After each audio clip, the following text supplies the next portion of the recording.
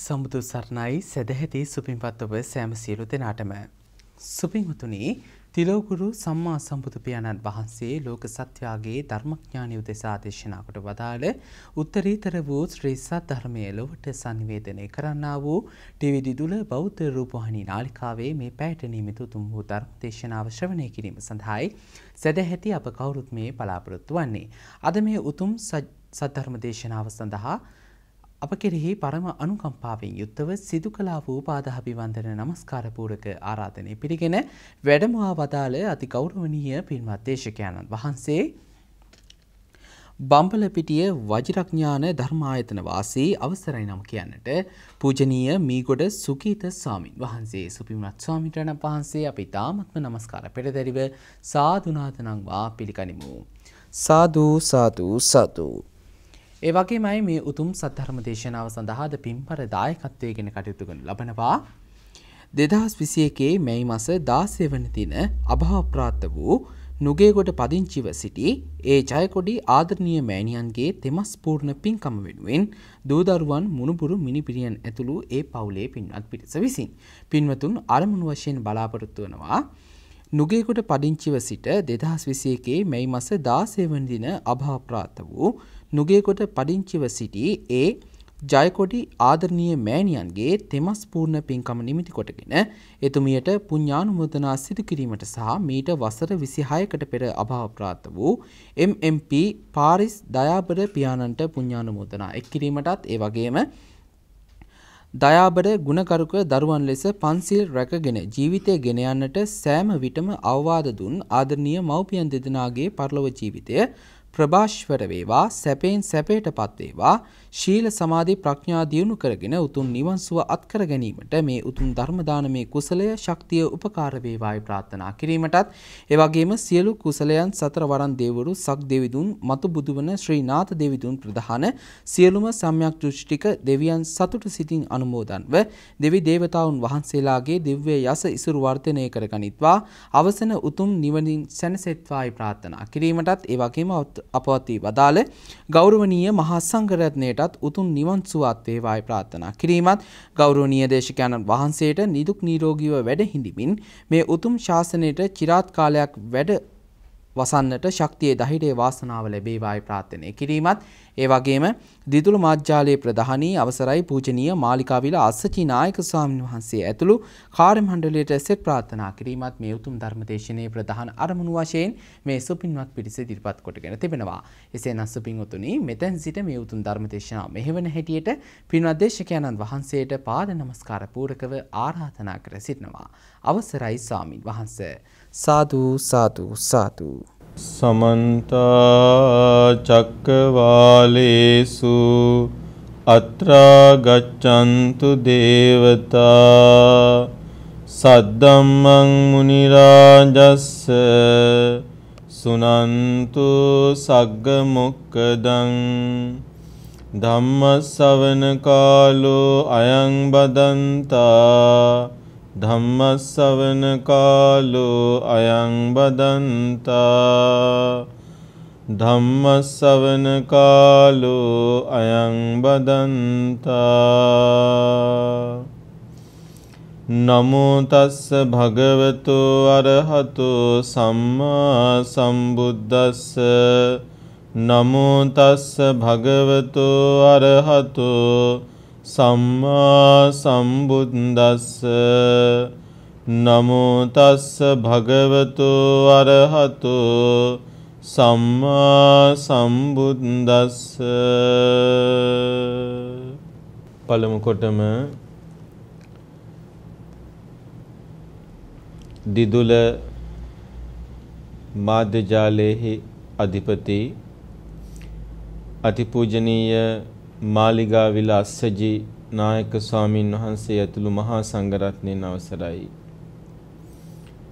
අද දවසේදී හැම දිනාම බලාපොරොත්තු වන්නේ ධර්ම ශ්‍රවණය කරන්න. දිදුල නාලිකාව තුලින් අද ධර්මදේශනාව සඳහා මාතෘකාව හැටියට අප තබාගෙන තිබෙන්නේ මජ්ක්‍ධිම නිකායට අයිති ඊ타ම වටින සූත්‍ර දේශනාවක් අනුමාන සූත්‍රය. අනුමාන සූත්‍රය.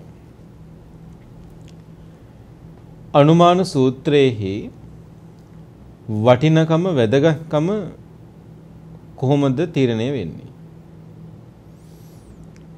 පින්වතුනි ගොඩාක් වෙලාවට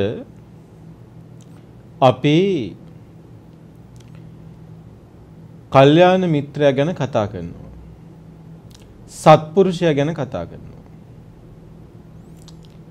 අපි අහලා තියෙනවා බුදුරජාණන් වහන්සේ ආනන්ද හාමුදුරුවන්ට වදාලා කියලා ආනන්ද මේ ශාසනයේ අඩක් නෙවෙයි මුළු බුද්ධ ශාසනයෙන් පවතින්නේ කල්යාණ මිත්‍ර ආශ්‍රය මත කියලා. ඔබ අහලා ඇති. එතකොට අපිට ඊටාම පැහැදිලි අපේ බුදු පියාණන් වහන්සේ කල්යාණ මිත්‍ර ආශ්‍රය මේ ශාසනයේ කොයිතරම් දුරට උත්කර්ෂයහිලා දක්වලා තියෙනවද කියලා. එතකොට ඒ කල්යාණ මිත්‍ර ආශ්‍රය ඇයි එච්චර උසස් කළ පෙන්වන්නේ? කල්පනා කරලා බලන්න වටින දෙයක්. පින්වතුනි අපිට අපේ ජීවිතේ දිහා බලන්න එම නැත්තම් ස්වයං ප්‍රත්‍යවේක්ෂාවක් කරන එක තනියම කරන එක ලේසි නෑ. සරල උදාහරණයක් හැටියට කිව්වොතින් කණ්ණාඩියක් ඉස්සරහට ගිහිල්ලා බැලුවොත් තමයි අපිට අපේ රූපකාය උනත් පේන්නේ.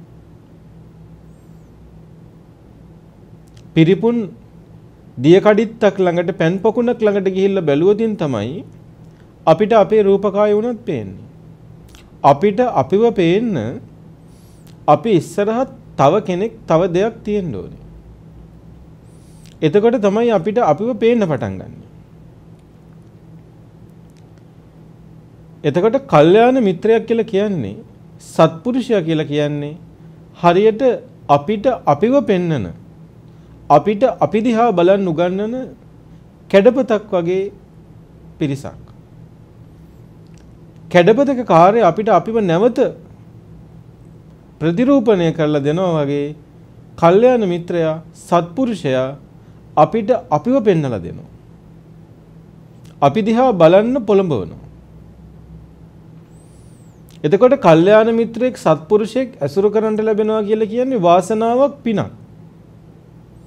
හැබැයි මතක තියාගන්න කල්යාණ මිත්‍රයෙක් සත්පුරුෂයෙක් ඇසුරු කරන්නට ලැබෙන එක හුදු වාසනාවක් විතරක් හුදු පිනක් විතරක් නෙමෙයි. කල්යාණ මිත්‍රයෙක් ඇසුරු කරන්න ලැබෙන එක සත්පුරුෂයෙක් ඇසුරු කරන්න ලැබෙන එක පින්වතුනි අපි තුල තියෙන ಗುಣධර්මයන්ගේ ප්‍රතිඵලය. ඒ කියන්නේ මොකද්ද? අපි තුලත් කල්යාණ මිත්‍රයාට විවෘත වෙන්න කල්යාණ මිත්‍ර ඇසුරු කරන්න අපි තුලත් ගුණයක් තියෙන්න ඕනේ.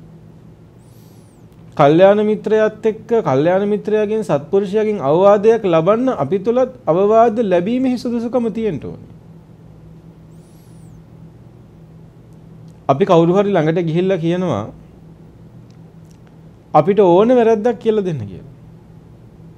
හැබැයි අපි වැරදි අහන්න ලෑස්ති නැත්තම් වැරදි අහලා වෙනස් වෙන්න ලෑස්ති නැත්නම් අපි ගිහිල්ලා කිව්වට අපිට ඕන වැරද්දක් කියලා දෙන්න කියලා එක්කෙනා අපි ඒ ඇත්තගේ වචන නාස්ති කරන්නේ අපි වෙනුවෙන්. එයා හිතනවා අනේ මොකටද මෙයාට කියලා දීලා? මෙයා වැරදි අහන කෙනෙක් නෙමෙයි කියලා. නිශ්ශබ්දව ඉන්නවා. මේ හා සමාන සිදුවීමක් මේ සූත්‍රයේ තියෙනවා. මුගලන් මහරහතන් වහන්සේ බගුරට සුන්සුමාරගිරි නුවර සමීපෙහි මිහිඟු ගස් තියෙන ලස්සන මුව වනයක වාසය කරනවා. මහමුගලන් මහරහතන් වහන්සේ සමීපයට භික්ෂූන් වහන්සේලා අවුදින් උන්වහන්සේලා මුගලන් මහරහතන් වහන්සේගෙන් ඉල්ලීමක් කරනවා. පැවරීමක් කරනවා. පවාරේතු පැවරීමක් කරනවා. අනේ ස්වාමීනි අපිට ධර්මාවාදයක් දෙන්න. අපිට අඩුපාඩුවක් තියෙනවා නම් කියලා දෙන්න. අපිට අවවාද අනුශාසනා කරන්න කියලා. පින්වතුනි අපි අහලා තිනවා මේ ශාසනයේ බුදුරජාණන් වහන්සේට විතරක් දෙවනි වෙන මහා ශ්‍රාවක උතුමන් වහන්සේලා තමයි සාරිපුත්ත මහරහතන් වහන්සේ මුගලන් මහරහතන් වහන්සේ. බුදුරජාණන් වහන්සේ පවා වදාරනවා සාරිපුත්ත මුගලන් මහරහතන් වහන්සේලා ඇසුරු කරන්නට කියලා. උන්වහන්සේලාගෙන් අවවාද අනුශාසනා ලබන්නට කියලා. එතකොට මේ ස්වාමීන් වහන්සේලාට මහත් ලාභයක් මුගලන් මහරහතන් වහන්සේ වැඩ ඉන්න එක. ඒ නිසායි මුගලන් මහරහතන් වහන්සේ සමීපයට අවුදින් අහන්නේ ස්වාමීනි අපිට අවවාදයක් කරන්න පුළුවන්. පැවරීමක් කරනවා. මුගලන් මහරහතන් වහන්සේ අපූර්ව කතාවක් කියනවා. මොකද්ද? උන්වහන්සේ වදාරනවා මම ආයුෂ්මතුන් විසින් අවවාද අනුශාසනා වශයෙන් කිව යුත්තේක් වෙමි. ආයුෂ්මත් වූ මට අවවාද අනුශාසනා වශයෙන් කරුණු කියත්වායි පවරතුදු ඔබ වහන්සේලා මට අවවාද අනුශාසනා වශයෙන් යමක් කියන්න කියලා පැවරුවත් පැවරීමක් කළත් බලය පැවරුවත් දුර්වච භාවය පළ කරන මතු දැක්කෙන සොලොස් ධර්මයන්ගෙන් යුක්ත වූවෙක් නම් දුර්වච භාවයපත් කරන කියන වචනයට සැලකිල්ලක් දන්කන් නැති දුර්වච ස්වභාවයෙන් යුක්ත ඒ වචනයෙන් තමන්ගේ ජීවිතය වෙනස් කරගන්න නැති ඒ වචනයෙන් මනාකොට හික්මෙන්නේ නැති දුර්වච භාවයට පත් කරන ධර්ම 16කින් යුක්ත වෙනවා නම් මං එයාට අනුශාසනා කරන්නේ නැහැ. මම ඒ සබ්‍රහ්මචාරීහු අනුශාසනය කළ යුත්තේක කොට නොහඟිත් මං ඒ සබ්‍රහ්මචාරීන් වහන්සේලා අනුශාසනා කළ යුතු කෙනෙක් කියලා සලකන්නේ නැහැ කියලා වදාරනවා. එතකොට බලන්න පින්වතුනි මේකේ ප්‍රකාශයේ තියෙන බරපතලකම. තමන්ලක ಗುಣධර්ම ප්‍රමාණයක් වැඩිලා නැත්තම් මේ සූත්‍රයේ පෙන්නන දුර්වච කරන ධර්ම දෝවචස්ස කරන ධර්ම 16න් යුක්ත වෙලා තියෙනවා නම් මුගලන් මහරහතන් වහන්සේ වදාරනවා මම ඒ කෙනාට අනුශාසනා කරන්නෙවත් නැහැ මම එයාට අවවාද කරන්නෙවත් නැහැ කියලා. මේ වගේ ප්‍රකාශයක් බුදුරජාණන් වහන්සේගෙත් තියෙනවා. මහා වේගනස්ස සූත්‍රයේ. ඒතු විඤ්ඤෝ පුරිසෝ අසටෝ අමායාවි උජුජාතිකෝ ධම්මං දේශේ. මා කෙරෙහි විඤ්ඤූ පුරුෂයෝම පැමිණෙත්වා. ප්‍රඥාවන්තයෝම පැමිණෙත්වා. ඇයි? අසටෝ කපටි නැති, අමායාවී වංචනික නැති, උජුජාතිකෝ ඍජු. මම ඒ කෙනාටම බණ දේශනා කරනවා, ධර්මයේ දේශනා කරනවා. අහං ධම්මං දේශේමි. යතානු සිට්ටන් තථා පටිපජ්ජමානෝ නචිරස්සේව සාමඤ්ඤේව ඤස්සති සාමන් දක්ඛිති. ඒ කෙනා කල් නොයවා මේ ධම තමන් තුළින්ම දකිනවා ප්‍රත්‍යක්ෂ කරනවා සාක්ෂාත් කරනවා. ඒ නිසා මම ඒ කෙනාට ආරාධනා කරනවා කාටද කපටි නැති වංචනික නැති ඍජු කෙනාට ධර්මයේ දේශනා කරන්න. ඒ කියන්නේ බුදුරජාණන් වහන්සේ පවා තමන් වහන්සේ අනුශාසනා කරන්නේ මේ මේ කරුණු වලින් යුක්ත කෙනා කියලා තෝරා ගැනීමක් කළා. මහමුගලන් මහරහතන් වහන්සේ පැහැදිලිවම දක්වනවා මේ කාරණා 16 යුක්ත වෙච්ච කෙනාට මම ධර්මයේ දේශනා කරන්නේ. පින්වතුනි මේ කාරණා 16 දුර්වච කරන ධර්ම. නරක පැත්ත නරක පැත්තට තියෙන ධර්ම. හැබැයි මේ කාරණා 16ම තියෙන අනිත් පැත්ත. සුවච කරන ධර්ම, සෝවච්ච කරන ධර්ම.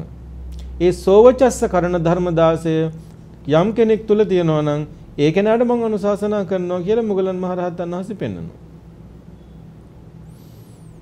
පින්වතුන්ට මම මෙතනදී පුංචි කාරණාවක් කියලා දෙන්නම් මේ කාරණා 16 කියලා දෙන්න කලින්. මුගලන් මහරහතන් වහන්සේ ස්වාමීන් වහන්සේලාට පෙන්නන උන්වහන්සේලා තුල තියෙනවා නම් එය දුරු කළගත යුතුයි කියලා කියන ඒ කාරණා 16න් යුක්ත වූ එක් නම් තමන් වහන්සේ ධර්මයේ දේශනා කරන්නේ අනුශාසනා කරන්නේ අවවාදයක්වත් කරන්නේ නැහැ කියලා ප්‍රතික්ෂේප කරන කාරණා 16 පෙන්නලා දෙන්න කලින් මම පොඩි කරුණක් කියන්න.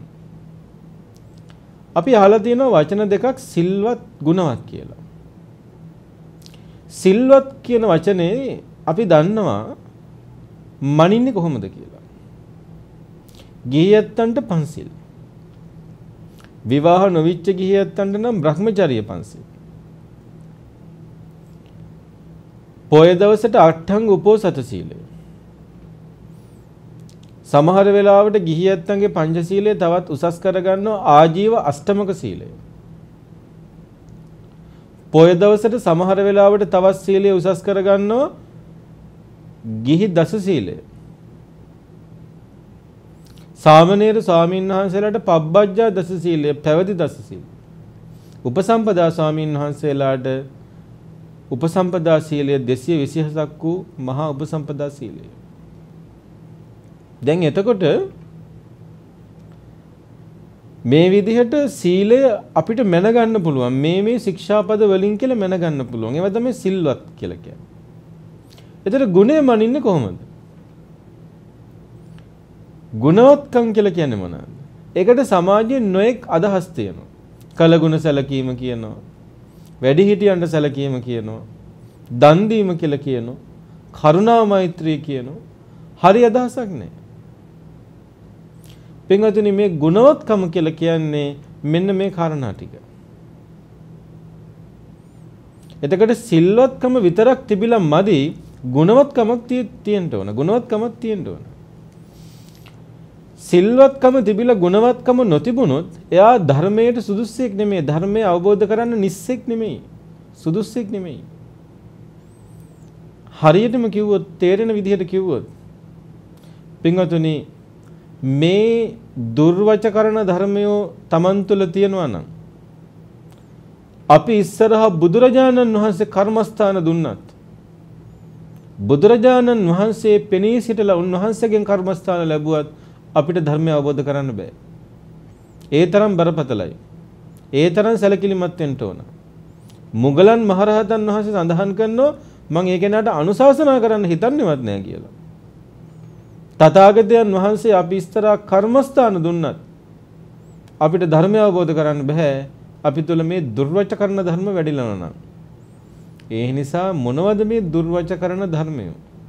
දැන් එතකොට අපිට පේනවා සිල්වත්කමින් විතරක් ශික්ෂාපද රැකීමෙන් විතරක් අපි තුල ගුණවත්කම ඇති වෙන්නේ නැහැ. ගුණවත්කම කියන එක සිල්වත්කමත් එක්ක තියෙන්න ඕන සමාන්තරව වැඩෙන්න ඕන තව ධර්මතා ටිකක්, තව ගුණ ධර්ම ටිකක්. මොනවද ඒ ගුණවත්කමට අයිති කාරණා? ඉස්සෙල්ලම පෙන්වන්නේ දුර්වච කරන ධර්ම. නොකල යුතු දේවල්. පළවෙනි එක. පාපිකානං ඉච්ඡානං වසංගතෝ හෝති. පෞකාර අරමුණු වලින් වසඟයට ගියේ වෙයි. ඉච්ඡ කියලා කියන්නේ අපේක්ෂා. පාපිකානං ඉච්ඡානං කියලා කියන්නේ පෞකාර ලාමක අපේක්ෂාවන්ගෙන් වසඟයට ගියේ වෙයි. සමහරු ධර්මය අහන්න එන්නේ ධර්මයට එන්නේ ඇත්තටම උසස් අපේක්ෂාවන්ගෙන් නෙමෙයි. ඊටාම පැහැදිලිව උසස් අපේක්ෂාව සංසාර දුකින් අත මිදෙන එක. ඊට මෙහා පැත්තේ තියෙන নানা ප්‍රකාර අපේක්ෂා සියල්ල ඉදි වෙන්නේ ලාමක අපේක්ෂාවලට. එහෙම ලාමක අපේක්ෂාවන් සහිත වූ කෙනෙකුට ධර්මය අනුශාසනා කළ වැඩක් නැහැ මොකද එයා පිළිගන්න ලෑස්ති නැහැ. එයාට තියෙන සංසාර දුකින් අත මිදීමක් ධර්ම අවබෝධ කිරීමක් නෙමෙයි වෙන අපේක්ෂාවක්. කොච්චර ගැළපෙනවද කියලා බලන්න කල්පනා කරලා. අදට කොච්චර ගැළපෙනවද කියලා බලන්න කල්පනා කරලා. දෙව්දත් තෙරුන් වහන්සේ ගැන අපි අහලා තියෙනවා. පින්වත්තුනි දෙව්දත් තෙරුණෝ ඇත්තටම කල්පනා කරලා බැලුවොත් බුදුරජාණන් වහන්සේගේ සමයේ වැඩ හිටපු සමහර ස්වාමින් වහන්සේලා කරපු තරම් මහා අපරාධ කළේ නැහැ. ඒකෙන් අදහස් වෙන්නේ නැහැ දෙව්දතුන් හොඳ කෙනෙක් කියලා. හැබැයි දෙව්දතුන් පරාජිකා පත්ති වලට පත්වෙච්ච ඝනේ අපරාධ කළා නැහැ වර්ධි කළා බවක් විනය පිටකේ පේන්නේ නැහැ. මහා අපරාධයක් දෙකක් කළා තමයි සංඝ බෙහෙදය කළා බුදුරජාණන් වහන්සේගේ ලේසොලවලා. හැබැයි විනය ශික්ෂාපද බරපතල විදියට උල්ලංඝනය කරපු ස්වභාවයකට වඩා පේන්නේ ශික්ෂාපද දැඩිව අරගෙන අනිත් ඇත්තන්ටත් වඩා සිල් රැකපු ස්වභාවයක්. උදාහරණයක් හැටියට දිවි ඇතිතෙක් පාංශකූලික වෘක්ෂමූලික පිණ්ඩපාතික නිර්මාංශික වගේ ප්‍රතිපදාවන් සමාදන් වෙලා වාසය කළා. එතකොට ඒ වගේ ප්‍රතිපදාවන් මේ ශාසනය රකින්න එක ලේසි පහසු දෙයක් නෙමෙයි. දෙව්දතුන් ඒව රැක්කා. හැබැයි දෙව්දත් ඒව රැක්කේ උසස් අපේක්ෂාවකින් නෙමෙයි. ඒව රැක්කේ පාප අපේක්ෂාවකින් පාපිච්ච ලාමක අකුසල අපේක්ෂාවකින්. මොකද්ද අපේක්ෂාව? සංඝයා බෙදන්න. සංඝයාගේ පාලනය තමන් සතු කරගන්න. ලාභ සත්කාර උපදවන්න. දැන් එතකොට සිල්වත්කමක් වේවා ගුණවත්කමක් වේවා පිණ්ඩපාතික වේවා වෘක්ෂමූලික වේවා අරඤ්‍යගත වේවා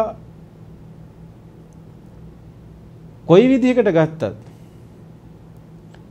එක වේලේ වැළඳුවත් නිර්මාංශික වුණත් කොහොම වුණත් ඒක ඇතුලේ ලාමක අපේක්ෂාවක් තියෙනවා නම් පටු අපේක්ෂාවක් තියෙනවා නම් ඒ කෙනාට මේ ධර්මයේ පිළිටන්න බෑ.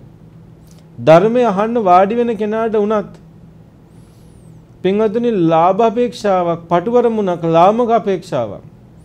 තමන් කීර්තිය දියුණු කරගන්න තමන්ගේ බලය වැඩි කරගන්න තමන් සමාජයේ ඉදිරියේ පෙනී සිටින්න නොඑක් විදිහ ලාමක අපේක්ෂා තියෙනවා. පින්වතුනි බලන්න සමහර වෙලාවට නොඑක් ඇත්ත ධර්මය අහන්න එනවා නොඑක් විදිහ දේශපාලඥයෝ පවා ඒ කැමරාවට බන අහනවා වෙන්න පුළුවන්. නමුත් ඒ වගේ අවස්ථාවල ඒ කෙනාට ධර්මය අවබෝධ වෙන්නේ ධර්මය ලැබෙන්නේ ඒ කෙනා පෙනී සිටීමක් රඟපෑමක් විතරයි කරන්නේ. ලාමක අපේක්ෂාව. ඒ ලාමක අපේක්ෂාවන් තියෙන කෙනාට ධර්මය අවබෝධ කරන්න බෑ. කොච්චර අනුශාසනා කළත් ඒ අනුශාසනාව යාට යන්නේ නැහැ. එයා ඔළුව වනවන වැඳගෙන ඉන්නව විතරයි. බොරුවක් කරන්නේ. එතකොට ඒක දුර්වච කරන ධර්මයක්. එහෙම ස්වභාවයක් තියෙන කෙනාට කවදාවත් ධර්මයේ පිළිටන්නේ ධර්මයෙන් උපකාර ලබන්න බෑ. එහෙම කෙනාට ශ්‍රේෂ්ඨ කල්යාණ මිත්‍රයන් වහන්සේලා අනුශාසනා කරන්නේ මොකද උන්වහන්සේලාගේ වචන අපරාධي. අපි කියන්නේ ගඟට කැපූ ඉනි වගේ වචන කියලා. ඒ වගේ වචන පුහුදුන් කෙනෙක් වචන නාස්ති කළාට මහරහතන් වහන්සේ නමක් ලෞතුරා බුදුරජාණන් වහන්සේ නමක් තමන් වහන්සේලාගේ වචන නාස්ති කරන්නේ නේ. ඵල රහිත දෙයක් වෙනුවෙන් වචන නාස්ති කරන්නේ නේ. එතකොට ඒ වගේ ලාමක අපේක්ෂා තියෙන කෙනෙක් වෙනුවෙන් වචන නාස්ති කරන්නේ කවදාවත් කිසිම කිසි දවසක බුදුරජාණන් වහන්සේ දෙව්දතුන්ට බණ කියන්න ගියා කියලා කොහෙවත් තියනවද? නෑ නෙමෙයි පින්වතුනි. අන්තිමට දෙව්දතුන් නැවිල්ලා ජේතවනාරාමේ පැම්පකුර ළඟ හඬමින් කියනවා මට බණ ටිකක් කියන්න වඩින්න කියලා. බුදුරජාණන් වහන්සේ වැඩියේ නේ. උන්වහන්සේට මොකද අකමැත්තක් අප්‍රීතියක් තරහවක් තිබුණද නේ? බුදු කෙනෙක්. මහා කරුණිකයන් වහන්සේ. හැබැයි උන්වහන්සේ වැඩියේ නෑ මොකද වැඩලා වැඩක් නෑ. නිෂ්ප්‍රයෝජන දෙයක් බුදු කෙනෙක් කරන්නේ නෑ. ඒ නිසා හොඳට මතක තියාගන්න සත්පුරුෂයෙක්ගෙන් වචනයක් අහගන්නත් තමන් ළඟ සත්පුරුෂකමක් තියෙන්න ඕන. සත්පුරුෂයෙක්ගෙන් අවවාදයක් අනුශාසනාවක් ලබා ගන්න තමන් ළඟ අවවාද අනුශාසනා ලබන්න පුළුවන් ගුණයක් තියෙන්න ඕන. පළවෙනි එක තමයි පාපිච්චානං ඉච්ඡානං වසංගතෝ පෞකාර ලාමක අපේක්ෂාවන්ගෙන් වසඟයට ගිය කෙනෙක් වුණොත් එහෙම ඒක කරන්න බෑ. දෙවැනි එක අත්තු කංසකෝ හෝති පරවම්බී. අත්තු කංසනය සහ පරවම්බනය. අත්තු කංසනය කියලා කියන්නේ තමන් උසස් කළ සැලකීම. පරවම්බනය කියලා කියන්නේ අනිත්‍යව පහත් කොට සැලකීම. පින්වතුනි සීලයක් ගුණයක් වේවා සත්‍ය කාරණාවකින් වුණත් ඇත්තටම තමන් තුළ තියෙන දෙයකින් වුණත් තමන් උසස් කියලා හිතාගෙන අනිත්‍යව පහත් කරනවා නම් ඒක අත්තුක්කංශනය පරවම්බනය. තමන් විනයදරය, තමන් සිල්වත්ය, තමන් ධර්මදරය, තමන් බහුශ්‍රතය, තමන් නුගත්ය, තමන් රූප සම්පන්න ආදී වශයෙන් තමන් උසස් කරලා හිතනවා අනිත්‍යව සසඳලා පහත් කරනවා. තමන් ඇත්තටම සිල්වත් වුණත් අනිත් කෙනා ඇත්තටම දුස්සීල වුණත් තමන් උසස් කොට සද සිතන්නත් අනිත් කෙනා පහත් කොට සිතන්නත් බුද්ධ ආගමේ අවස්ථාවක් නැහැ බුදුදහමේ අවස්ථාවක් නැහැ. ඒ නිසා මානෙ උපදිනවා. ඒ කෙනාට ධර්මයක් පිළිටන්නේ නැහැ. තමන්ට තමන් අවංක වෙන්නේ නැහැ. තමන්ගේ හිත විවෘත නැහැ. මානෙන් යුක්තයි, අධික මානෙන් යුක්තයි. ඒ නිසා බුදුරජාණන් වහන්සේ පෙන්නනවා මුගලන් මහරහතන් වහන්සේ පෙන්නනවා මේ සූත්‍රයේදී අත්තුක්කංශකෝ හෝති පරවම්භී මේ අත්තුක්කංශනය සහ පරවම්භනය දුරු කළ යුතු කාරණාවක්. එහෙම තියෙන කෙනා අනුශාසනා ලබන්න සුදුසු වෙන්නේ නැහැ කියලා. ඊළඟට තුන්වෙනි එක කෝදනෝ හෝති කෝදාබි භූතෝ ක්‍රෝධයෙන් යුක්ත වූයේ වෙයි ක්‍රෝධයෙන් මඩනා ලද්දේ වෙයි. පින්වතුනි අපි කාටත් තරහ තියෙනවා. කේන්ති යනවා. හැබැයි කේන්තිය තරහව තරහවෙන් මඩනා ලද ස්වභාවය කියලා කියන්නේ ඊට වඩා තවත් දරුණු අවස්ථාවක්. හැම වෙලාවෙම කේන්තියෙන් මිරිකෙමින් ඉන්න ස්වභාවය. කේන්තියෙන් මිරිකෙමින් ඉන්න කෙනාට ධර්මය අවබෝධ කරන්න බෑ, අනුශාසනා ලබන්න බෑ. සත්පුරුෂයෙක් කල්යාණ මිත්‍රයෙක්ගේ උපකාර ලබන්න බෑ. කල්යාණ මිත්‍ර වචනයක් ලබන්න බෑ, වචනක්ෂම නෑ යා. වචනේහි ප්‍රතිඵල ලබන්න බෑ. හැම වෙලාවෙම වෛරයෙන්, ක්‍රෝධයෙන් පෙළෙමින් ඉන්නේ මඩනාලද්දෙක්. ඒක තුන්වෙනි කාරණාව. හතරවෙනි කාරණාව කෝදනෝ හෝති කෝධ හේතු උපනාහි. ක්‍රෝධය හේතු කරගෙන ක්‍රෝධය මුල් කරගෙන බද්ධ වෛරයෙන් යුක්ත වෙනවා නම් කවුරු හරි කෙනෙක්. අන්න එතන පෙන්නනවා මේ බද්ධ වෛරී ස්වභාවයේ දුර්වච කරන ධර්මයක්. ක්‍රෝධය හේතු කරගෙන වෛර බැඳ ගන්නවා. දැන් පින්වතුනි කෙනෙක්ට තරහ යන එක හොඳයි කියනවා නෙමෙයි. හැබැයි තරහ ගිය කෙනෙක් තරහව එතනින් අවසන් කරනවා නම් පිට කරනවා නම් ඒක වෙනම දෙයක්. ඒ තරහව කවුරු හරි කෙනෙක් බැඳ ගන්නවා නම් දිගින් දිගට තියා ගන්නවා නම් ඒක බද්ධ වෛරයක්. නැවත නැවත තරහ කරනවා නැවත නැවත වෛරසිත උපදවනවා. අන්නේ බද්ධ වෛරී ස්වභාවය ක්‍රෝධය හේතු කරගෙන වෛරී ස්වභාවය උපදව ගන්න එක දුර්වච කරන ධර්මයක්. වෛර බැඳ ගන්නා සුළු ස්වභාවය. කවුරු හරි කෙනෙක් බද්ධ වෛරයෙන් යුක්ත වෙනවා නම් වෛර බැඳ ගන්නා සුළු ස්වභාවයෙන් යුක්ත වෙනවා නම් ඒ කෙනා සුවච කරන ධර්මයෙන් යුක්ත කෙනෙක් නෙමෙයි සුවච කෙනෙක් නෙමෙයි දුර්වච කෙනෙක් ඒ කෙනාට සත්පුරුෂය අවවාද කරන්නේ කල්යාණ මිත්‍රය අනුශාසනා කරන්නේ අනුග්‍රහ කරන්නේ නැහැ. කල්යාණ මිත්‍රයාගේ අනුග්‍රහයට සුදුසු වෙන්නේ නැහැ. කෝදනෝ හෝති කෝද හේතු අபிසංඝි ක්‍රෝධය හේතු කරගෙන ගැටෙන සුළු ඌයේ වේද ඒ කෙනත් කල්යාණ මිත්‍රයා විසින් අනුග්‍රහ කරන කෙනෙක් නෙමෙයි සත්පුරුෂයා විසින් අනුශාසනා කරන කෙනෙක් නෙමෙයි. ක්‍රෝධය හේතු කරගෙන ගැටෙනවා. පුංචි දෙයකින් ගැටෙන සුළු ස්වභාවයටපත් වෙනවා. දැන් බලන්න පින්වතුනි අපේ රටේ ගොඩාක් ඇත්තන්ට තියෙනවා බොහොම එළියෙන් පෙන්වන දේවල්. තෙරුවන් සරණයි කියනවා නමෝ බුද්ධාය කියනවා නොඑක් විදිහේ වශයෙන් අපිට එළියෙන් පෙන්වන දේවල් තියෙනවා. ඒවා නරකයි කියනවා නෙමෙයි. හැබැයි පින්වතුනි බලන්න කල්පනා කරලා නොයෙක් රතවාහන වල පවා දෙහැමි වාක්‍ය ධර්ම වාක්‍ය තියෙන ප්‍රදර්ශනය වෙනවා. ජනප්‍රිය බුදු සමයේ අංගයන් තියෙනවා. හැබැයි අපේ ජීවිතවල කොච්චර ධර්මයේ වැඩිලා තියෙනවද? අපේ හිත ඇත්තටම ගැටෙනවද නැද්ද කියලා බලා ගන්න අපිට ගැටෙන සුළු අවස්ථාවක් හම්බෙන්න බලන්න පින්වතුනි පාරේදී වුණත් වාහනයක් එකිනෙක ගැටුණොත් අපි කොච්චර ගැටෙනවද? අපි කොච්චර ඒකෙන් තර්ක කරනවද? මේක අසභ්‍ය වචන කියනවද? බලන්න පින්වතුනි බටහිර රටවල් වල බුද්ධ ආගම නැති වුණත් සමහර වෙලාවට අපි අහනවා වාහන දෙකක් නොඑක් විදිහේ අනතුරකට ලක් වුණත් බොහොම සුහදව ඒක බේර ගන්නවා. මේවා මේ අපේ රටේ තිබිච්ච දේවල්. රොබර්ට් නොක්ස් වාර්තා කරනවා කරත්ත දෙකක් කරත්ත රෝද දෙකක් ගැටුනහම ඒ කරත්ත රෝද දෙක පදවගෙන ගිය ගැල්කරුවෝ දෙන්න අනේ අනිච්චන් සංසාරය කියලා කරත්තරෝද දෙක පදවගෙන ගියා කියලා. එතනින් එහාට ගැටුන්නේ කියලා. එහෙම රටක් මෙහෙම උනේ කොහොමද? ඒ තමයි අපි ළඟ මේ ධර්මය අපේ ජීවිත වලින් ඈත් වෙච්ච එක. ධර්මයෙන් අපි ජීවිත පෝෂණය කරගත්තේ නැහැ. බාහිර සාධක ටික පෝෂණය වෙනවා. බාහිර දේවල් ටික ලස්සන වෙනවා. ඇත්ත කතාව තමයි බාහිර ඔපය වැඩි වෙනකොට අභ්‍යන්තර ඔපය අඩු වෙනවා. බාහිර ඔපේ අඩු වෙන තරමට අභ්‍යන්තර ඔපේ වැඩි වෙනවා. අද අපිට වෙලා තියෙන්නේ බාහිර ඔපේ වැඩි වෙලා අභ්‍යන්තර ඔපේ අඩු වෙලා. අපි හැමතිස්සෙම ගැටෙන සුළු මනසින් ඉන්නේ. පොඩි දෙයකදීත් අපි රණ්ඩු සරුවල් කරගන්නවා. අසභ්‍ය වචන කියනවා නරක වචන කියනවා ගැටෙනවා. එහෙම කෙන අනුශාසනා ලබන්න සුදුසු වෙන්නේ නැහැ කියනවා. කෝදනෝ හෝති කෝද සාමන්තා වාචන් නිච්ඡාරේතා කෝධයෙන් යුක්ත වූයේ වෙයි ක්‍රෝධයෙන් යුක්ත වචන පිට කරන්නේ වෙයි ඉස්සෙල්ලත් කියපු කාරණාවම දිගුවක් ක්‍රෝධයෙන් යුක්ත වූයේ වෙයි ක්‍රෝධයෙන් යුක්ත වචන පිට කරන්නේ වෙයි ක්‍රෝධයෙන් යුක්තව ක්‍රෝධයෙන් යුක්ත වචන පිට කරනවා දැන් කාරණා හයක් කිව්වා පින්වතුනි ක්‍රෝධයෙන් මඩනාලද්දේ වෙයි. ක්‍රෝධයෙන් බද්ධ වෛරයටපත් වූයේ වෙයි. ක්‍රෝධයෙන් ගැටෙන සුළු වූයේ වෙයි. ක්‍රෝධයෙන් යුක්ත වචන පිට කරන්නේ වෙයි. ඒ හා සම්බන්ධ කරන හතරක් කතා කළා. ඊළඟට ලාමක අපේක්ෂාවන්ගෙන් යුක්ත වූයේ වෙයි. පළවෙනි එක අත්ුක්කංශනය පරවම්බනය තමන් උසස් කළ අනිත්‍ය පහත් කළ හිතන එක දෙවැනි කාරණාව. කාරණා 6යි. හත්වෙනි කාරණාව. හත්වෙනි කාරණාව හැටියට පෙන්වන්නේ වෙනත් මාතෘකාවක් යටතේ කාරණා පහක් සඳහන් වෙනවා.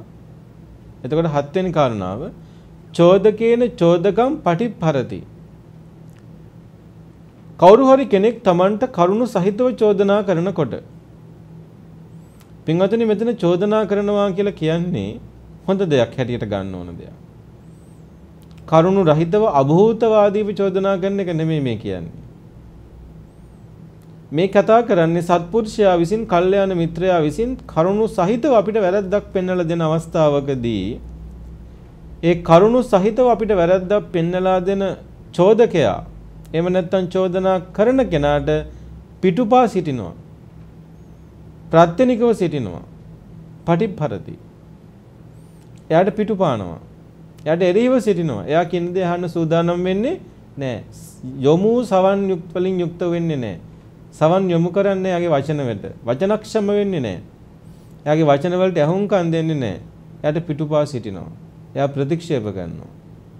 එහෙම කෙනාට මේ ධර්මයේ දියුණුවක් ලබන්න බෑ. කල්යාණ මිත්‍රයාගේ ඇසුර ලබන්න බෑ. කල්යාණ මිත්‍රයාගේ වචන වලට සුදුස්සෙක් වෙන්නේ නැහැ. චෝදකේන චෝදකං අපසාදේති.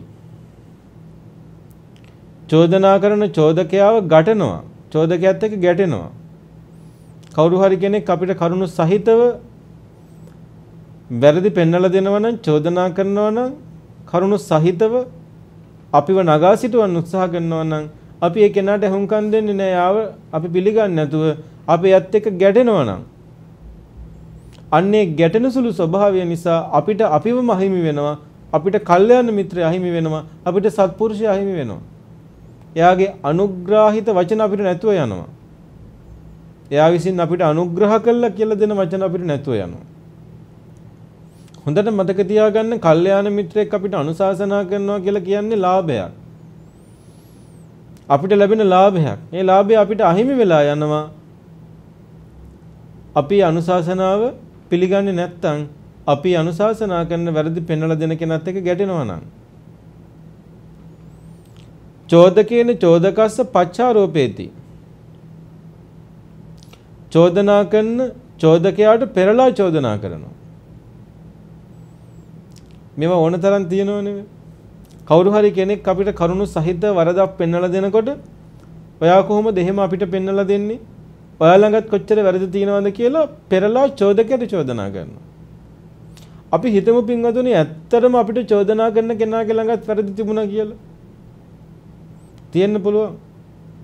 හැබැයි අපිට පෙන්වලා දෙන වැරද්ද ඇත්තනම් මං කියන්නේ බොරුවක් නෙමෙයි නම් ඇත්තනම් කරුණු සහිතව නම් පෙන්වලා දෙන්නේ අපි ළඟ ඇත්තට මේ වැරද්ද තියෙනවා නම් ඒ වැරද්ද අපි හදාගත්තොත් ලාභය තියෙන්නේ චෝදකයටද අපිටද චෝදිතයටද? චෝදිතයට ලාභය තියෙන්නේ අපිටයි ලාභය තියෙන්නේ. අපේ වැරද්ද නිවැරදි වෙනවා. චෝදකට චෝදනා කරන කෙනා ළඟ චෝදකයා ළඟ වැරදි තිබුණොත් ඒකේ පාඩුව වෙන්නේ එයාට අපිට නෙමෙයි. ඒ නිසා මතක තියාගන්න අපිට වැරදි පෙන්නලා දෙනකොට වැරදි පෙන්නලා දෙන කෙනා ළඟත් වැරදි තිබුණත් අපිට ඒක අදාළ නැහැ ඒක අපිට ප්‍රශ්නයක් නෙමෙයි. මොකද අපේ හොඳට වැරද්ද පෙන්නලා දෙන්න අපිට ඒක අහන්න පුළුවන් වෙන්න ඕනේ. ඒක අපිටයි ලාභෙ තියෙන්නේ. ඒක හොඳට මතක තියාගන්න. කවුරු හරි කෙනෙක් Taman තුල වැරදි තියෙද්දී පව අනිත් අයට වරදක් පෙන්නලා දෙන්න යන්නේ කල්යාණ මිත්‍ර භාවය සත්පුරුෂ භාවය. අනිත් එක තමයි ලේසියෙන් Taman තුළ වැරදි තියෙන කෙනෙක් තව කෙනෙකුට වැරදි පෙන්වන්න යන්නෙත් නැහැ ඒකත් වැදගත්. Taman තුළ වැරදි තියෙන ගොඩාක් දෙනා කරන්නේ නිස්සද්දව ඉන්න එක. ඕන දෙයකට හොඳයි කියන එක. Taman තුළ වැරදි නැති කෙනා තමයි અભිහිත කෙනා තමයි અભිහිෂ්ට කෙනා තමයි අනිත් කෙනාට වැරදි පෙන්වලා දෙන්නේ. දැන් බලන්න කල්පනා කළා අනගාരിക ධර්මපාලතුමා ගත්තත් ඉතිහාසයේ පහළ වෙච්ච මහා වීර චරිත ගත්තත් මෑත යුගයේ පහළ වෙච්ච මඩිය මහානායක ස්වාමීන් වහන්සේලා සෝම ස්වාමීන් වහන්සේලා ගත්තත් උන්වහන්සේලා තුල තිබිච්ච අවංක භාවය නිසා පාරිශුද්ධ පැවැත්ම නිසා දෙනවා ලෝකයට අඩුපාඩු පෙන්වලා දීලා යහපත යොදවනවා. තමන් තුල අවංක භාවයක්, තමන් තුළ અભිහිෂ්ට અભිහිත ස්වභාවයක් නැත්නම් පාරිශුද්ධ පැවැත්මක් නැත්නම් මොකද කරන්නේ? අනේ ඔයගොල්ලෝ ඕන දෙයක් කරගන්න කියලා නිස්සද්දව ඉන්නවා. මොකද එතකොට තමන්ටත් පෙරලා චෝදනාවක් ඉන්නේ කවුරු හරි කෙනෙකුට චෝදනා කරන්න යනවා කියලා කියන්නේම තමන්ටත් පෙරලා චෝදනාවක් එනවා. ඒකට මුහුණ දෙන්න ඕනේ. ඒකට තමන් තුළ පිරිසුදු පැවැත්මක් තියෙන්න ඕනේ. ඒ නිසා මතක තියාගන්න අවංකව කවුරු හරි කෙනෙක් තමන්ට කරුණු පෙන්වලා දෙන කෙනෙක් නම් ඒ කෙනා ඒකාන්තයෙන්ම පිරිසුදු කෙනෙක්. දැන් මුගලන් මහරහතන් වහන්සේ මේ පෙන්වන්නේ මම ශ්‍රාවකින්ට වැරදි පෙන්වලා දෙනවා නම් තමන් වහන්සේ නිකලස් තමන් වහන්සේ පාරිසුද්ධයි එතකොට උන්වහන්සේගෙන් වචනයක් ලබන්න බැරි නම් උන්වහන්සේගෙන් අනුශාසනාවක් උන්වහන්සේගෙන් වචනයක් අහන්න බැරි නම් ඒ උන්වහන්සේ වචනයක් කියනකොට ඒ වචනෙත් එක්ක ගැටෙනවා නම් පෙරලා උන්වහන්සේට චෝදනා කරනවා නම් ඒ චූදිතයා තව තවත් කරුණු පෙන්වලා දෙන වැරදි පෙන්වලා දෙන සුදුස්සෙක් නෙමෙයි. එයා ප්‍රතික්ෂේප කළ යුත්තේක් වෙනවා. ඒ නිසා කල්යාණ මිත්‍රයා විසින් ප්‍රතික්ෂේප කළ යුත්තේක් වෙන්න එපා. කල්යාණ මිත්‍රයා විසින් අනුශාසනා කරන කෙනෙක් වෙන්න. කල්යාණ මිත්‍රයාගේ කල්යාණ වචනේ ලැබෙන කෙනෙක් වෙන්න. ඒ වචනයට පිටුපාපු කෙනෙක් වෙන්න එපා පින්වතුනි. ඊළඟට පෙන්නනවා චෝදිතෝ චෝදකේන අඤ්ඤේනඤ්ඤම් පටිචරති බහිද්ධාකතං අපනාමේති කෝපංච ද්වේසංච අප්පයංච පාතු කරෝති කවුරු හරි චෝදකෙක් කරුණු සහිතව චෝදනා කරනකොට ඒ කතාව වෙන කතාවකින් වහනවා. කතාව බැහැර පහ කරනවා. කෝපයත්, ද්වේෂයත්, අප්‍රීතියත් පළ කරනවා.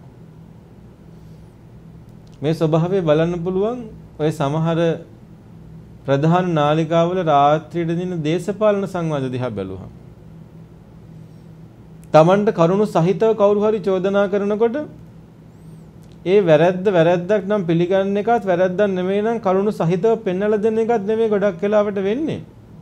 නොඑක් විදිහේ වචන හරම දක්වලා ඒ ප්‍රශ්නය මග හරිනවා. කෝපය, ද්වේෂය, අප්‍රීතිය පළ කරනවා. අකමැත්ත පළ කරනවා. තරහ ගන්නවා, කෑකෝ ගහනවා, රණ්ඩු වෙනවා. අප්‍රසාදය පළ කරනවා. තමන්ට චෝදනා කරන තමන්ට කරුණු සහිතව වැරද්ද පෙන්වලා දෙන කෙනාට එරෙහිව නැගී සිටිනවා. තව කාරණාවකින් කාරණාව වහලා දානවා. තර්ක කරනවා. බෙරිලා යනවා. ඔකනේ සාමාන්‍ය ස්වභාවය. ඒක වීරකමක් නෙමෙයි පින්වතුනි. ඒක දක්ෂකමක් නෙමෙයි. ඒක දුර්වච භාවයක්.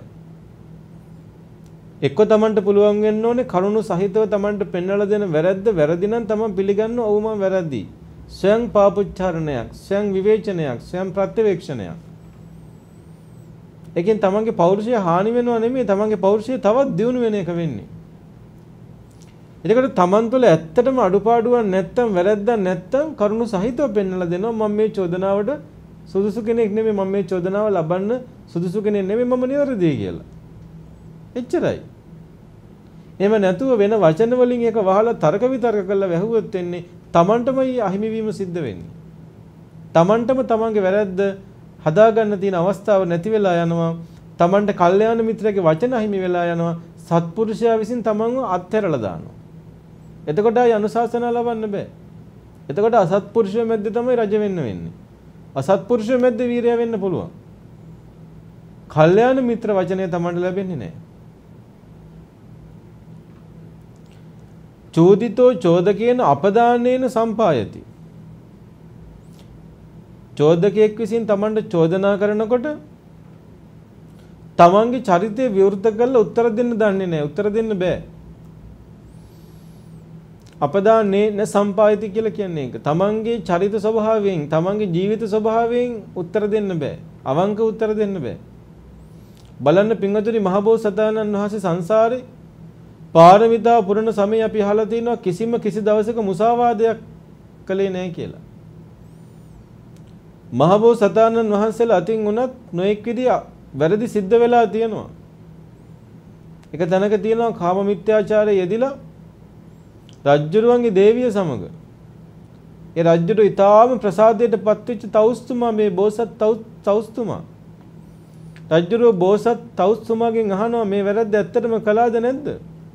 බෝසත් තවුස්තුමා උත්තර දෙනවා ස්වාමීනි මං කළා.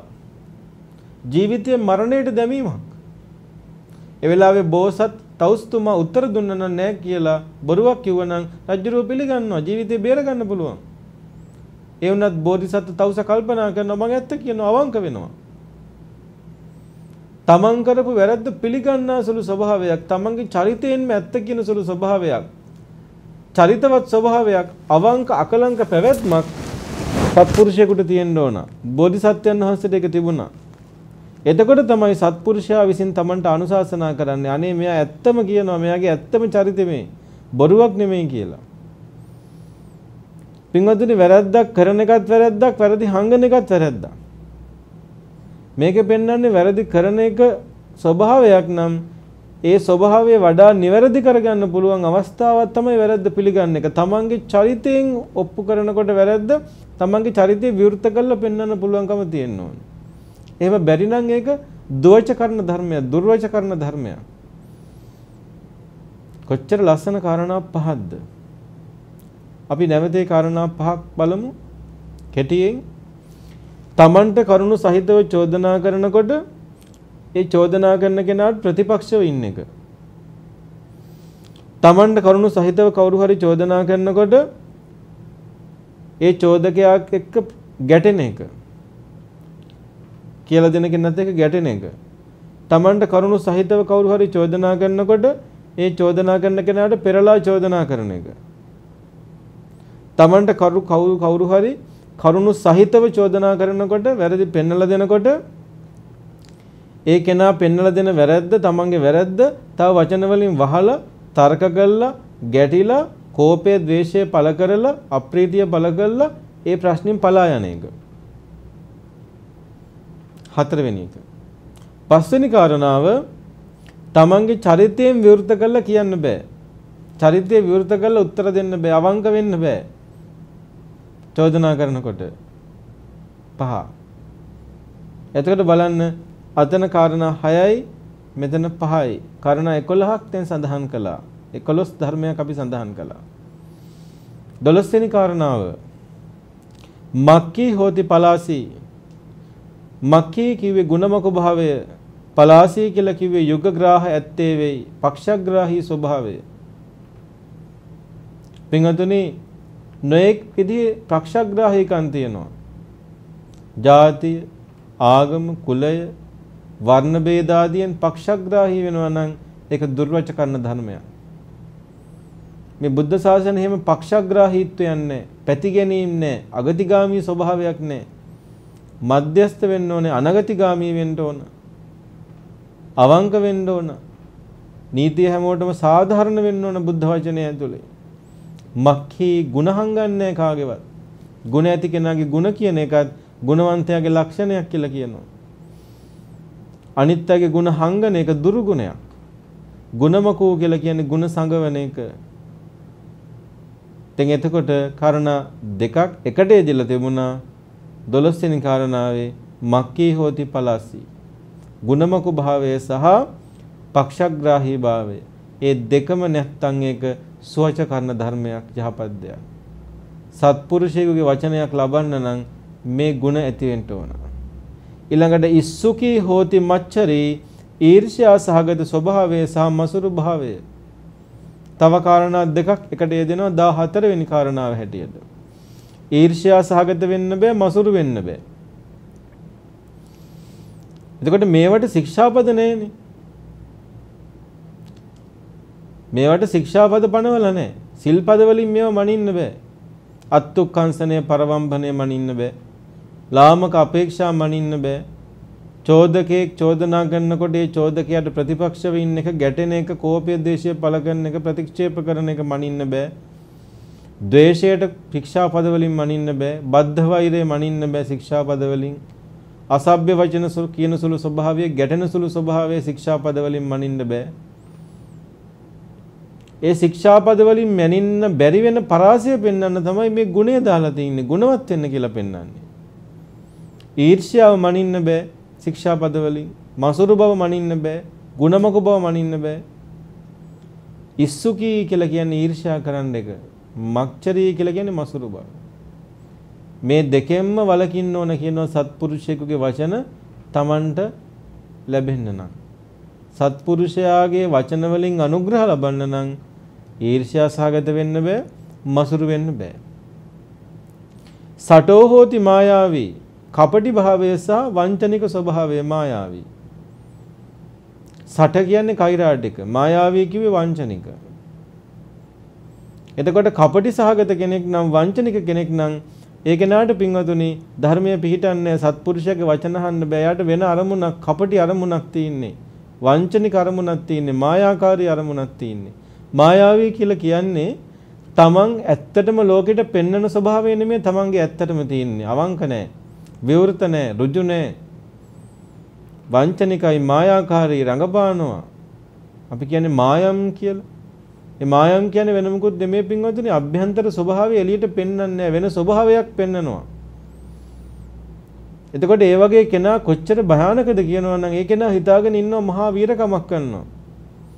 මට අනිත් ඔක්කොමලා රැවටිලා ඉන්නේ කියලා. එයාට මුළු ලෝකෙම රවට්ටන්න පුළුවන් වුණාට එයාට තමන්ට තමන්ව රවට්ටන්න බෑ. තමන් දන්නවා තමන් බොරුකාරයෙක් කියලා. ඒ කෙනාට ධර්මය අහිමි වෙනවා. ඒ කෙනාට කල්යාණ මිත්‍රය අහිමි වෙනවා. එයාට සත්පුරුෂය අහිමි වෙනවා. එයාට සත්පුරුෂයාගේ වචන ටික අහිමි වෙනවා. එයාට නිවන අහිමි වෙලා යනවා. එයාට මේ ශාසනය ඉස්සරහට යන්න බෑ. මේ ශාසනය ඉස්සරහට යන්න නම් අවංක වෙන්න ඕනේ. මේ ශාසනය ඉස්සරහට යන්න නම් මායාකාරී වෙන්න බෑ, වංචනික වෙන්න බෑ, ඍජු වෙන්න ඕන. බොහොම විවෘත වෙන්න ඕන. ඇත්ත ඇති සැටියෙන් කියන්නෙක් වෙන්න ඕන. තමන්ගේ ඇත්ත ජීවිතේ විවෘත කරගන්න පුළුවන් කෙනෙක් වෙන්න ඕන. පෙන්නන කෙනෙක් වෙන්න ඕන ඇත්තම ජීවිතේ. රඟපාන කෙනෙක් වෙන්න බෑ. සත්‍යවාදී වෙන්න ඕනේ. තද්දෝ හෝති අතිමානී තද බව සහ අතිමානය. 15 වෙනි කාරණාව තද බව සහ අතිමානය. තද බව සහ අතිමානය තියෙන කෙනාටත් මේ ශාසනය ඉස්සරහට යන්න බෑ. කල්යාණ මිත්‍රගේ වචන වලට අහුම්කම් දෙන්න බෑ. 16 සන්දිට්ඨි පරාමාසී හෝති ආදාහනක් ගාහි දුප්පටි නිස්සග්ගී තමන් දරන මතේ දැඩිව ගැටුනේ වෙයි දැඩිව ඇලුනේ වෙයි ආදාහනග්‍රාහි අන්තයට ගියේ වෙයි දෘෂ්ටිගත වෙච්ච කෙනාට නොඑක් විදිහේ ධර්ම මාර්ගය සම්බන්ධයෙන් දෘෂ්ටි තියෙන ඇත්තෝ ඉන්නවනේ. තමන් දරන දෘෂ්ටියෙන් අන්තයට ගියොත් ඒ දෘෂ්ටි අත්හරින්න බැරි කෙනෙක් වුණොත් එයාට මොන විදිහකටවත් ධර්මයෙන් පිළිසරණක් ලබන්න බෑ. ධර්මයෙන් පිටක් ලබන්න බෑ. තමන්ගේ දෘෂ්ටි අත්හරින්න ලෑස්ති නැහැනේ පින්වතුනි. එතකොට ඇත්තටම කල්යාණ මිත්‍රය බුද්ධ වචනය පැහැදිලි කරද්දි ධර්මය පැහැදිලි කරද්දි ශ්‍රාව ශාස්ත්‍රුන් වහන්සේගේ වචනය පැහැදිලි කරද්දි දෘෂ්ටියට අහුවෙච්ච කෙනාට විවෘත වෙන්න බෑ ධර්මය ගන්න බෑ. ඒ ශාස්ත්‍රුන් වහන්සේගේ වචනේම සත්‍යයි කියලා පිළිගන්නේ නැහැ. Tamanට වෙන දෘෂ්ටියක් තියෙනවා. නොඑක් දෘෂ්ටි තියෙනවා. ඒ දිට්ඨියට අහුවෙච්ච කෙනාට ඒ මිච්ඡා දිට්ඨියට අහුවෙච්ච කෙනාට ඒ වැරදි දිට්ඨියට අහුවෙච්ච කෙනාට මොකද වෙන්නේ?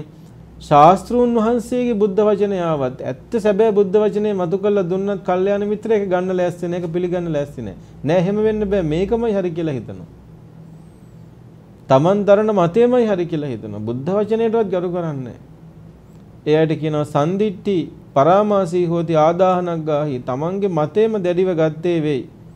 තමන්ගේ දෘෂ්ටිය පරාමර්ශනය කරන්නේ එහෙම දැඩි කොට ගත්තේ හරණට නොහැකි වූයේ වෙයි. ඒ කෙනාට මේ ධර්මයෙන් ඉස්සරහට යන්න බෑ. පින්වතුනි මේ කාරණා ටිකේම අනිත් පැත්ත විරුද්ධ පැත්ත තමයි සෝච කරන ධර්ම. හොඳ භාවයට සෝච භාවයට පත් කරන ධර්ම සත්පුරුෂයාගේ වචන වලින් ප්‍රතිඵල ලබන්න පුළුවන් පැත්ත තමයි මේ ටිකේම අනිත් පැත්ත. නම් වශයෙන් කියාගෙන ගියොත් පෞකාර අරමුණු වලින් යුක්ත වෙන්නේ නැත්තම් තමන් උසස් කළ අනිත්‍යව පහත් කරන්නේ නැත්තම් ක්‍රෝධයෙන් මඩනා ලද්දෙක් නොවේයි නම් ක්‍රෝධයෙන් ගැටෙන සුළු කෙනෙක් නෙමෙයි නම් ක්‍රෝධය හේතු කරගෙන බද්ධ වෛරයෙන් යුක්ත වෙන්නේ නැත්නම් ක්‍රෝධයෙන් යුක්ත වචන පිහිදවන්නේ නැත්නම් Tamanට චෝදනා කරන කෙනාට ප්‍රතිපක්ෂ වෙන්නේ නැතුව චෝදනා කරන කෙනාගේ චෝදනාව පිළිගන්න පුළුවන් නම්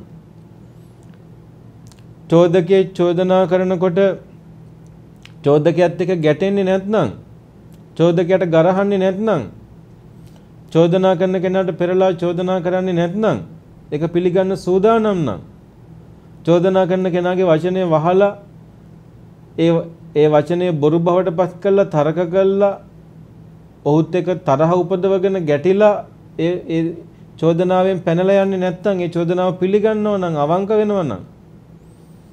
තමන්ගේ චරිතය විරුද්ධ කළා තමන්ගේ සත්‍යවාදී භාවයෙන් තමන්ගේ චරිතයෙන්ම විරුද්ධ කළේ චෝදනාව තමන්ගේ වැරද්ද පිළිගන්න පුළුවන් නම්. ಗುಣමකු වෙන්නේ නැත්නම් පක්ෂග්‍රාහී වෙන්නේ නැත්නම් අනුන්ගේ ಗುಣ හංගන්නේ නැත්නම් මධ්‍යස්ත වෙනව නම්. නීතිකරුක වෙනවා නම් සත්‍යවාදී වෙනවා නම් අපක්ෂපාතී වෙනවා නම් ඊර්ෂ්‍යා කරන්නේ නැත්නම් මසුරු වෙන්නේ නැත්නම් කෛරාටික වෙන්නේ නැත්නම් වංචනික වෙන්නේ නැත්නම් තද බව නැත්නම් මෘදු බව තියෙනවා නම් අධිකමාන නැත්නම් අනතිමානී ගුණයෙන් යුක්ත වෙනවා නම් තමන්ගේ දෘෂ්ටිය දැඩිව ගන්න නැතුව දෘෂ්ටිය අත්හරින්න පුළුවන් තැනකට දෘෂ්ටියකට වැටිච්ච නැති තැනකට ඉන්නවා නම් අන්නේ කෙනාට සත්පුරුෂයාගේ වචන වලින් පිහිටක් ලබන්න ලේසියි. සත්පුරුෂයාට උපකාර කරනවා. කල්යාණ මිත්‍රයාගේ වචනයට හම්බෙනවා. හොඳට මතක තියාගන්න. තමන්ට තමන් මැනගන්න පුළුවන් කාරණා 16ක්. තමන්ට තමන්ගේ ගුණය මනින්න පුළුවන් කාරණා 16ක්. පින්වතුනි බුදුරජාණන් වහන්සේ තමන්ගේ ඉස්සරහා වැඩ හිටියත් දුර්වච කරන ධර්මිය තමන් තුළ තියෙනවා නම් තමන්ට බුදුරජාණන් වහන්සේගේ වත් පිළිසරණක් ලබන්න බෑ. උන්වහන්සේගේ වචනයෙන්වත් තමන්ට උපකාරයක් ලබන්න බෑ.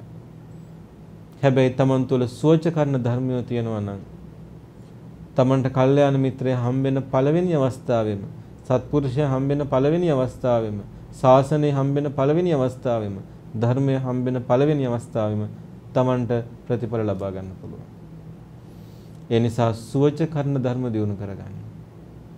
සීලය දියුණු කරනවා හා සමාන ගෞරවයකින් සිල්වත් වෙනවා හා සමාන ගෞරවයකින් ගුණය දියුණු කරගන්න. එතකොට තමන්ට මේ ගමන බොහෝම සුවසේ යන්න පුළුවන්. සුවසේ සතරින් එතර වෙන්න පුළුවන්.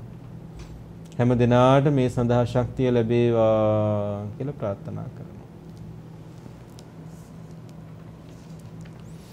පින්වත්නි අද ධර්ම දේශනාවේ දායකත්වය දරන්නේ නුගේගොඩ පදිංචිව සිට මීට තුන් මසකට පෙර පරලෝ සැපත් ආදරණීය මෑණියන් ඒ ජයකොඩි මෞතුමියට සහ ඊට පෙර පරලෝ සැපත් පියාණන්ට පින් අනුමෝදන් කිරීම සඳහායි. මෑණියන් වහන්සේ 2021 මැයි මාසේ 16 වෙනිදා පරලෝ සැපත් වුණා ඒ ජයකොඩි මෞතුමිය. ඒ වගේම මීට වසර 23කට පෙර පරලෝ සැපත් වුණා MP පාරිස් පියාණන් වහන්සේ. මේ දෙපළටම පින් අනුමෝදන් කරන්න බලාපොරොත්තු වෙනවා අමාලි පාරිස් මහත්මිය සහ ඒ සොහොයුරිය සහෝදරිය. පින්වතුනි මේ අමාලි මහත්මනිය මේ වෙනකොට විදේශගතව වාසය කළත් ඒ සොහොයුරිය විදේශගතව වාසය කළත් තමන්ගේ අම්මා කෙරෙහි අප්‍රමාණ ආදරයකින් අප්‍රමාණ ලැබැඳි සිතකින් උපස්ථාන කරපු සත්පුරුෂ දුවනියක්. ඉතින් ඇය බොහෝම සත්පුරුෂ භාවයෙන් යුක්තව ලෙන්ගතු භාවයෙන් යුක්තව තමන්ගේ අම්මට උපස්ථාන කරලා දීර්ඝායුෂක් ලබලේ මෑණියෝ අභාවයට පත් වුණාට පස්සේ දිදුල මාධ්‍ය ඔස්සේ ධර්ම ශ්‍රවණය කරන පින්වතුන්ට දහම් මැසීම සඳහා දායකත්වයේ දරුවා. ඒ පින්කමේ කුසල බලයෙන් ඒ ජයකොඩි මෞතුමියත් MMP පාරිස් මහත්මාණන් ඇතුළු සියලු ඥාතීන් නිවනින් නිවි සැනසෙත්වා කියලා අපි ප්‍රාර්ථනා කරමු. ඉදම්මේ ඥාතිනං හෝතු සුඛිතා හුන්තු ඥාතයෝ. ඉදම්මේ ඥාතිනං හෝතු සුඛිතා හුන්තු ඥාතයෝ. ඉදම්මේ ඥාතිනං හෝතු සුඛිතා හුන්තු ඥාතයෝ. අපවත් වී වදාළ ස්වාමින් වහන්සේටත් පින් අනුමෝදන් කරනවා. ඒ වගේම මියගිය ලංකාවාසී සියලු දෙනාටම කොරෝනා රෝගීන් මියගිය ඇත්තන්ට වීරවදාන රණවිරුවන්ටත් පින් අනුමෝදන් කරනවා. දෙවියන්ට පින් අනුමෝදන් කරනවා කොරෝනා වසංගතය දුරු වෙලා මේ වසංගත තත්ත්වයෙන් මේ රටවැසියන් ලෝවැසියන් මිදේවා රට ජාතිය සම්බුද්ධ ශාසනය ආරක්ෂා වේවා කියලා. ඒ වගේම දිදුල මාධ්‍යජාලයේ සභාපති අතිපූජනීය මාලිගාවිල අස්සජිනායක ස්වාමීන් වහන්සේ ඇතුළු මහා සංඝරත්නයටත් සෙත් ප්‍රාර්ථනා කරනවා ආශිර්වාද කරනවා. අමාලි පාරිස් මහාත්මනී සොහයුරිය ඇතුළු පවුලේ හැම දෙනාටමත් නිදුක් නිරෝගී සුව වේවා දිගාසී වේවා. හැම දිනාගේම සියලු කටයුතු සඵල වේවා. තුනුරුවන් සරණ රැකවරණය ආශිර්වාදයේ ආරක්ෂාව ලැබේවා. දෙවියෝ ඔබ අප හැම දිනාමත් රටක් ජාතිය සම්බුද්ධ ශාසනයත් රකිත්වා කියලා අපි ප්‍රාර්ථනා කරමු. එත්තාවතාච අම්හෙහි සම්බතං පුඤ්ඤ සම්පදං සබ්බේ දේවා අනුමෝදන්තු සබ්බ සම්පatti සිද්ධියා එත්තාවතාච අම්හෙහි සම්බතං පුඤ්ඤ සම්පදං සබ්බේ දේවා අනුමෝදන්තු සබ්බ සම්පatti සිද්ධියා එත්තාවතාච අම්හෙහි සම්බතං පුඤ්ඤ සම්පදං සබ්බේ දේවා අනුමෝදන්තු සබ්බ සම්පatti සිද්ධියා සංසාර දුකින් අත මිදී ලබන අමා මහ නිවන් සුව වේවා හැම දිනාටම ඊතා ඉක්මනින් නිවනින් සැනසීම වේවා කියලා සාදුකාර දීලා ප්‍රාර්ථනා කරන්න.